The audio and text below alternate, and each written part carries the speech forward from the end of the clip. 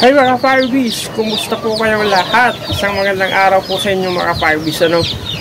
Ayan, eto. Hawa ko po yung ating sisiw ano, bali pa one week old pa siya ano mga Firebees ano?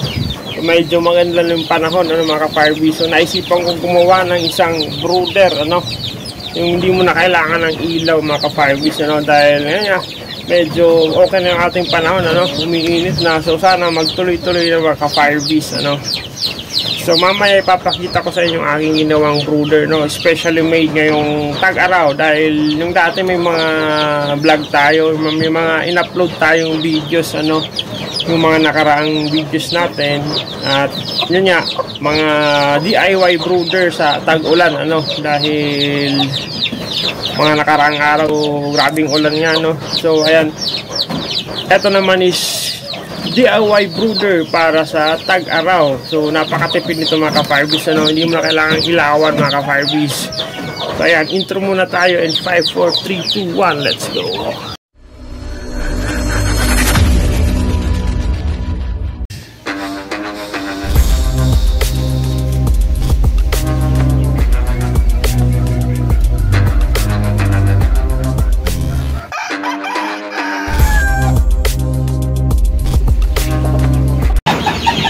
So yun mga ka-firebeast, ano, ito yung ating DIY brooder para sa tag-araw. Ito yung ginawa natin, ano, specially made para sa tag-araw. Ayan, ayan, kumakain na sa mga ka-firebeast. Ano, bali, binubuksan ko yan, ano, para at least marawan sila mga ka-firebeast. Ano, then paggabi, sinasara ko to, no, ng yero, ayan. Tapos yung inahin na, ano, sinama ko na siya, no, pero bali, etong inahin na to is hindi naman talaga tunay na uh, na ina nila no? Bali ampon lang no? Ayan. Ito yung mga inahin na pinapaampunan ko no? Dahil maganda maglimlim to mga ka-firebees ano? Ayan. Maganda mag-alaga ng mga sisiw niya ayan. Eh, may partition siya mga ka-firebees ano? Para yung pagkain is may mga inahin kasing talagang matatakaw kumain no? so ang tendency niyan yung mga sisiw hindi na titiran maka 5 no? so linagyan ko ng harang ano ayan. Tapos may screen na din doon para at least doon na sila umipot ano?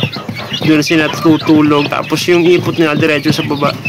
Tapos nilagyan ko rin ng ano mga firebees ano ng ipa ayan rice hole mga ka-firebees ano para dito sila nagkikis-kis ano para exercise pa rin sila mga ka-firebees ayan.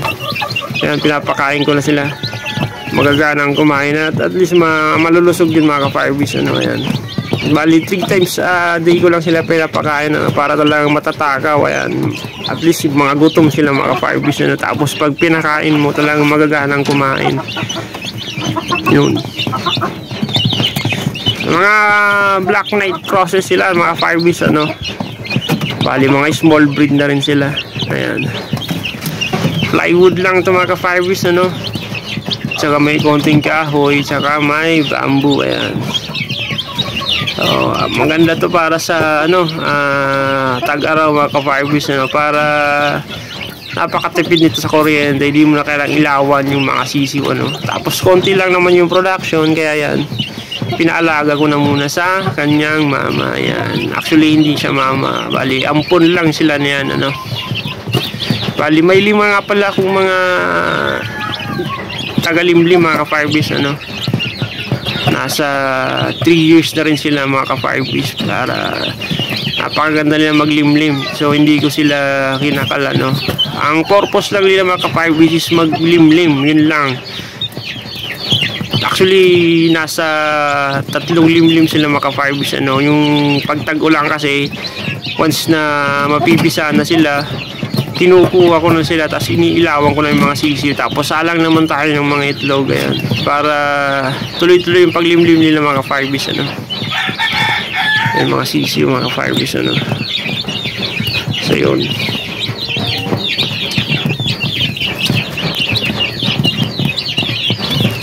yung ating DIY brooder para sa tagaraw. Inalot ko pa ng plastic para at least pag umulan, hindi sila mababasa. Ayan. So, ayan mga ka-firebees, ano, sana ay may natutunan kayo sa ating munting vlog mga ka-Firebis ano. So tuloy-tuloy lang naman po yung ating suporta mga ka-Firebis ano at see you on next videos mga ka-Firebis. Maraming maraming salamat sa ating mga solid subscribers. God bless mga ka-Firebis. Ayan, bye-bye.